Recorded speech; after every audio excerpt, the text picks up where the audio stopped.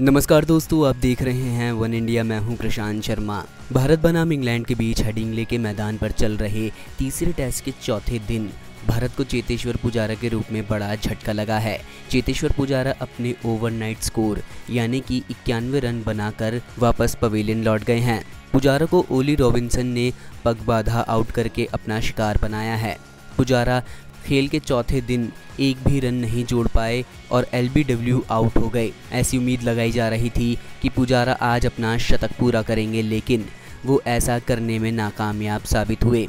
सिर्फ़ पुजारा ही नहीं, बल्कि इस पारी में अब विराट कोहली और अजिंक्य रहाणे ने भी अपना विकेट गंवा दिया है। भारतीय कप्तान विराट कोहली ने शानदार तरीके से अपना अर्धशतक पूरा किया, लेकिन 55 रनों के स्कोर पर अपना विकेट खो बैठे। विराट कोहली का विकेट भी ओली रॉबिन्सन के हाथ लगा। उन्होंने कोहली को जो रूट के हाथों कैच आउट कराकर पवेलियन वापस भेज दिया है। इसके अलावा भारतीय कप्तान अजिंक्य रहाणे इस पारी में फिर से नाकामयाब साबित हुए और सिर्फ़ 10 रन बनाकर अनुभवी एंडरसन का शिकार हो गए।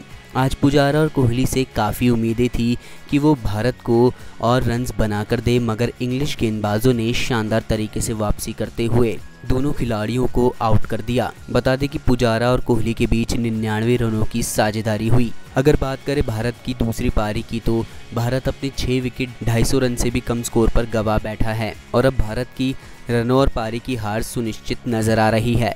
अब देखना होगा कि क्या लॉर्ड्स की तरह ही भारतीय टेलेंडर्स कुछ कमाल करके दिखा पाते हैं या नहीं। बाकी की तमाम खबरों के लिए आप बने रहिए वन इंडिया के साथ।